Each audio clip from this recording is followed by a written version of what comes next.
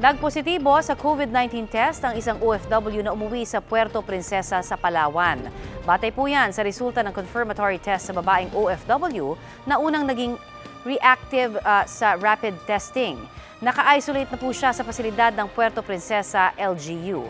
Inoobserbahan din ang mga nakasalamuhan niya, kabilang ang 22 kasabay niyang umuwi sa Puerto Princesa noong May 31 sa ilalim ng Balik Probinsya program.